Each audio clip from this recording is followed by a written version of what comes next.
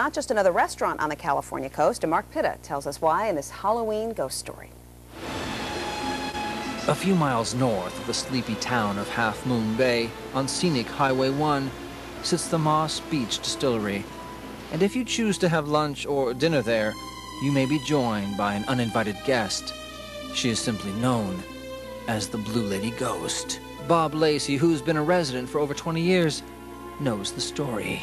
There was a piano player that used to play in this very room, and he was having an affair with a married woman who was always dressed in blue. She was married, uh, as I understand it, to a, a, local bootlegger. One night, the two of them went down on the beach below us here in, into a cave to have a little tryst, and somebody stabbed her in the back. The piano player was not to be seen the rest of that evening, but he did come back the next day and started playing the piano. The murder was never solved. And uh, as the story goes, this lady, who is now called the Blue Lady Ghost, haunts these premises, and there have been lots of unexplained things that have happened attributed to her. Intrigued, I enlisted the guidance of psychic Annette Martin. Annette, why are we standing in this particular spot of the Moss Beach Distillery? This is where the blue lady comes up from the beach and she walks into the restaurant. And her name is Kate. How do you know that? Well, she likes to be called Kate because she's told me that. Okay, you communicate with her? Yes. Okay, what I yes. want to know is, was it her husband that killed her or was it the bartender, her lover? Oh, it was her husband, definitely her okay. husband, yes. How do you know that? Well, she told me, and I saw the whole do you, scene. Do you have her number? We've heard about some strange occurrences happening. We think Kate is responsible. What are some of those things that have happened? Oh, some of the interesting things are that she's gone around and she has untied the apron strings of the bartender.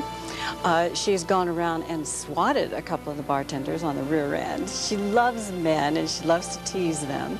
Uh, she's moved the lamps in the restaurant. We have actually seen that several times ourselves. Uh, she has turned over uh, one of the chairs out in the front room near the front door there, and it knocked over, and then it did a somersault. But what about those who work here? Executive Chef Greg Feddersen. Most of the time I've noticed uh, noises uh, in, in the form of music and uh, voices, basically like a party going on. Uh, I'll be closing the kitchen down and I can hear it from downstairs. I'll be coming upstairs and it'll be getting louder. And as soon as I get over to this corner of the restaurant, right back in here, it, it just, this is where it seems to be emanating from.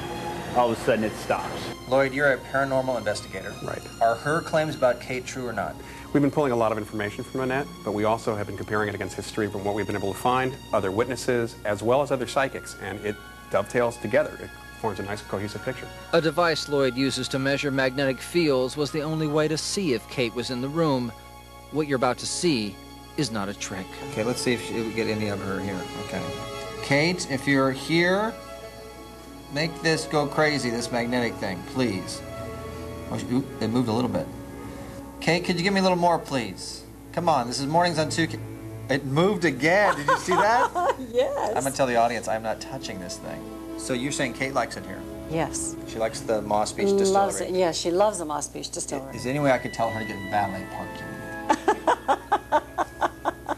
Kate? Wow, that was a good one. Hey! In tribute, the ladies' room has its own homage to Kate, and maybe that's why she likes it here. You think she'll ever leave if her lover ever comes back to her? You know, even if he comes, if Charlie comes to take her, I, I really don't think she's going to leave. I think she's going to talk Charlie into staying right here. Really? Because she loves it here. Oh, yes. Maybe you'll have two ghosts. Yes, wouldn't that be Charlie. fun? Whether you believe the psychic, the investigator, the chef, or the long-time resident is of no consequence to Kate. She'll be here for as long as you live.